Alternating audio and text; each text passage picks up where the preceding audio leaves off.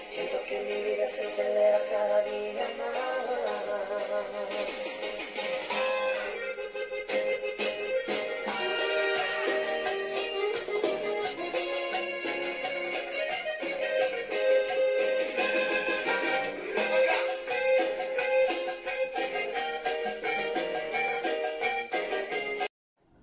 Hola, hola, ¿cómo andan mis amigos? Bienvenidos a otro nuevo video. Y este es muy especial, sí, porque llegamos a los mil suscriptores. ¡Qué nivel! Así que bueno, muchas gracias a todos por los que estuvieron, los que están y, los que vendrán. Bueno, este video va a ser para hacer fajas, sí. Yo les voy a mostrar mi manera de hacer la faja. Desde ya esto para los albañiles principiantes que quieren arrancar solo, hacer algo. Muchas veces quieren arreglar su casa. Y bueno, cosas que les voy a mostrar que tienen que tener sí o sí en cuenta, porque yo he cometido errores y, normalmente después los, los, arreglo, obvio, no volver a hacer lo mismo. y a veces hacemos lo mismo. ¿eh? Y sí, viste, en el amor siempre hacemos lo mismo, viste, cometemos los mismos errores. Bueno, pero es otro tema, eso, eso lo dejamos para otro video. Así que bueno, me río solo un loco. Pero bueno, les voy a mostrar las herramientas que necesitamos cuchara, obvio, si no, no, van a llevar la cuchara de tomar la sopa. Así que necesitan un balde, la plomada fundamental. Eso, eso, ese que sacan el plomo a ojo, todo bolazo, todo mentira eso. Yo no conozco ninguno que, que, a ojo haga las cosas. Así que bueno, usen las herramientas. Van a necesitar un fratacho. Una de las cosas que tienen que tener en cuenta Use una maderita esta de un centímetro y medio de ancho y después cuando ponen las maderas, eh, como ustedes no son albañiles, no usen una maderita cortita de 10 centímetros, traten que sea más larga, de 20 centímetros. Entonces ustedes cuando vienen así, cuando vienen con la, con la regla, tienen, tienen espacio para moverse hacia los costados. Así que tomen la precaución esa de poner una maderita más ancha. Bueno, otra de las cosas que tienen que tener en cuenta que esto, esto va para los que son albañiles y que no son albañiles, esto para todo.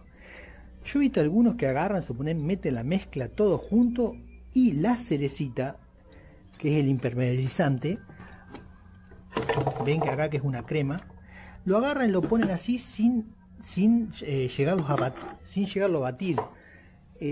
no es que yo lo sepa, sino lo que dice el prospecto de, o el fabricante de la cerecita, que dicen que los 10 litros de agua cada kilo o litro de, de, la cerecita lo tienen que batir, que tiene que quedar como un agua. No metan la crema sino más entre la misma entre el mismo material. Porque si no, no se, se queda suponer el material en un solo lado y después no, no funciona. Eso para mí va para todos, porque he visto albañiles profesionales que lo hacen, ¿eh? Y después vienen las macanas, eh, se me filtra la humedad. Bueno. Lo que yo estoy haciendo acá eh, son estas fajas, como tengo para aquel lado es esto era un patio. Cuando es así, lo que tienen que hacer ustedes es poner la cerecita abajo de la faja. Entonces, unos consejos que a mí como me ha pasado, ven que acá tiene las cerecitas un color más, más verde que acá que vendría a ser lo que vendría a ser el reboque después. Siempre traten de cuando ponen la cerecita que salga fuera de esto, ¿Por qué?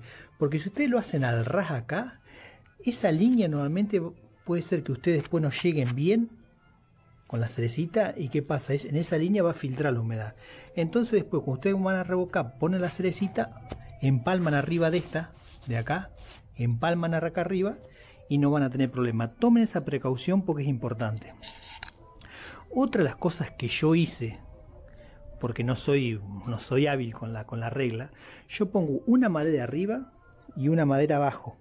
Eso normalmente los albañiles capacitados lo hacen. Pero yo subí y le pongo una acá al medio, ¿ven?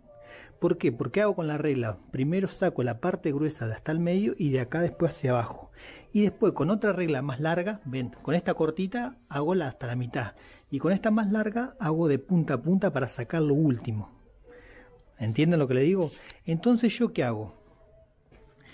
Primero tienen que hacer eh, una, la, faja, la faja en una punta y en la otra punta. Y bueno, y largan, ponen, largan de allá con un tornillo y tiran el piolín por allá abajo, vienen para acá abajo y acá al medio. Así que dan toda la vuelta. En mi caso, a mí me resulta más fácil. Entonces es más fácil para manejar la regla, porque yo hasta acá la mitad, porque obvio, ustedes tienen que tener a plomo las dos reglas, las dos fajas de la orilla las tienen que tener a plomo, si no es imposible hacerlo. ¿No ve? Y después le quedan perfectos, miren, ¿no ve? ¿No ve cómo le quedan? Pasa a la orilla, ¿no ve? Si vamos acá abajo, lo mismo. Otra de las cosas que tienen que hacer es fratachar esto. La faja fratachenla, ¿eh? porque es mejor. Porque después va a ser el empalme todo. Igualmente, si está dentro de la casa, van a tener que hacerle un fino. Que normalmente el fino, las cosas chicas, las va a tapar. Pero si no hacen las cosas más o menos bien de entrada, tampoco va a funcionar. y otra de las cosas que tienen que, hacer, que no, no se olviden, de mojar bien la pared. Es importante mojar bien, bien la pared así agarra bien el material. Ah, y otras cosas, suponerme en este caso, que yo tengo el problema acá de la pared que está hundida, no sé qué han hecho en, otro tiempo, porque esta, este es un tapial viejo, yo tengo acá como 5 centímetros y allá arriba tengo los 2 centímetros. Así que cuando tengan que cargar esto, no apuren de echar material pues se le va a caer. Dejen que tiren, tiran 2 centímetros, dejen que tiren y van llenando. Así que no se apuren, porque el material tiene su, su tiempo de, de, de que frague.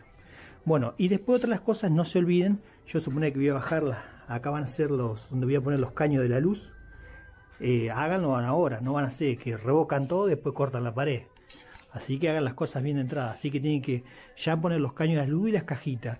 Fíjense en un video que yo subí de cómo murar las cajas de una forma bien, que yo le paso unos alambres para que quede bien las cajas de luz, porque normalmente después cuando tirás con los enchufes se aflojan.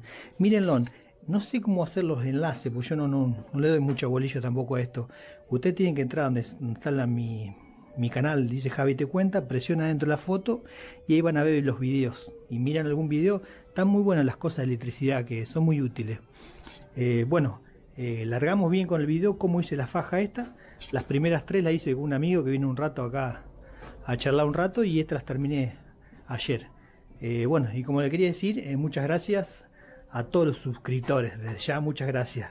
Y desde ya este video está dedicado a mi primer suscriptor de la ciudad de Reconquista, provincia de Santa Fe, Argentina. Bueno, nos vemos. Bueno amigos, comenzamos con la faja. Acá tenemos el crack de Luis, que como aquí dice que quiere un poco fama, entonces él dice que va a agarrar la cuchara y yo simplemente voy a filmar.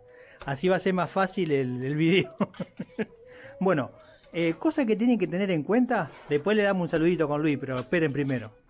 Cosa que tienen que tener en cuenta cuando hacen las fajas, alguno que medio improvisado como yo, eh, acuérdense siempre de hacerle eh, el impermeabilizante con cerecita, no sé cómo le llaman en su país, pero acá le llaman cerecita, así que le hacen eh, así como lo está cuchareando.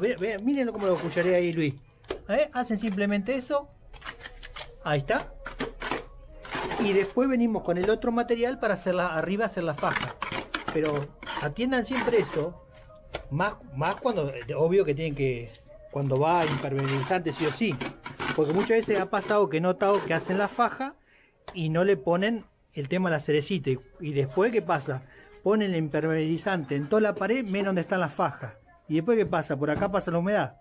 Así que tengan en cuenta eso. Bueno, empezamos con el tema del armado de la faja. Lo que tienen que hacer es, si es mucha la altura, es poner maderitas como ven acá. Así. Primero comienza poniéndole una allá arriba.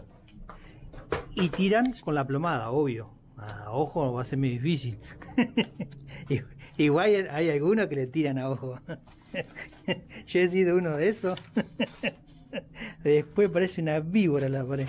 Pero bueno, vamos, vamos a poner un poco de onda, vamos a hablar en serio. Bueno, el material que necesitan para hacer el impermeabilizante son 3 de arena, una de cemento y acá se usa la cerecita es un kilo o un litro cada 10 litros de agua. Así que ustedes lo van a tener que manejar esa proporción, pero como para que tengan idea.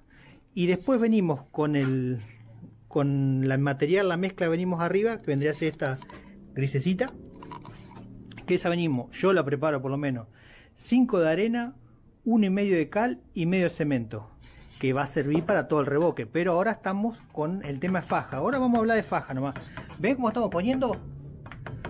como hay mucha altura y si tiramos muchas veces la plomada a veces no queda bien, así que vamos, probamos acá al medio y probamos abajo, así que y después la tiramos completa.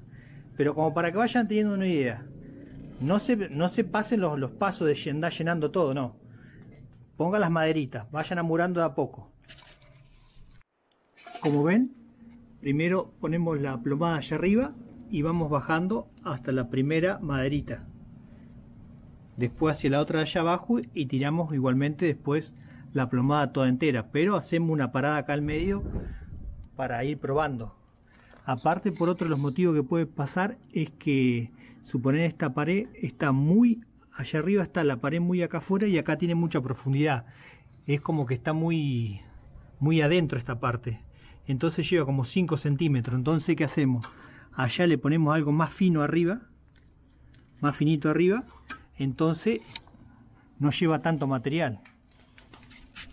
Bueno, una vez que llenamos eh, la faja, le pasamos la regla para que una vez que apoya en esta madera y en la madera arriba, le pasamos entonces queda parejito. Fíjense, si ustedes lo miran de acá al costado, fíjense cómo está. ¿Ve? Y si les falta material, ustedes van rellenando. Esta vez se pasa, para hacer la faja, se pasa de arriba hacia abajo. Cuando uno está revocando, se pasa horizontal. Es diferente. ¿Pero ven?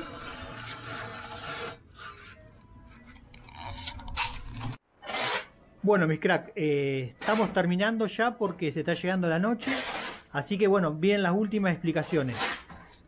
Ustedes tienen que largar haciendo una faja en un rincón en un extremo de la pared y la otra faja en el otro extremo. Ahora para hacer acá al medio ya es más fácil. ¿Por qué? Porque usted ya tiene a plomo las dos, las dos fajas. Lo único que tienen que hacer es ponerle un clavo, un tornillo allá arriba y tiran un piolín de acá a la otra faja, a la otra punta allá. Y simplemente después hacen el mismo trabajo. Como ahora ya tienen a plomo el, el piolín, el piolín este con el piolín de abajo ya está plomo. Lo único que hacen es poner de nuevo una maderita acá, lo llenan y hacen el mismo trabajo.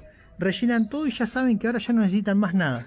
Así que bueno, espero muchachos que les haya gustado el video. Fue muy instructivo. Aparte acá el amigo Luis, vieron que estuvo haciéndose un poco el famoso. Así que bueno Luis, saludá a las chicas, ¿cómo es el tema? A ver. No te voy a decir nada a tu mujer. Hola gente, ¿cómo andan? Eh, Acá estamos trabajando un poco, eh, mirá, mirá- mirá cómo agarra la cuchara Luis, es un crack. tratando de terminar esto, me está agarrando la noche, me está agarrando hambre, sed. Ah, después vamos a tomar una cervecita. Así que Un saludo para las chicas. Míralo. para- y para los que critican, que dejen el número de su mujer. ¡Eh! ¡Qué atrevido! ¿Qué te... Luis, escucharon bien, ¿no? El que llega a poner un comentario como que está mal hecho esto, él dice que le piden el número de teléfono a su señora. Así que bueno, amigos, nos estaremos viendo hasta la próxima. Chau, chau, chau, chau, chau, chau. Chau.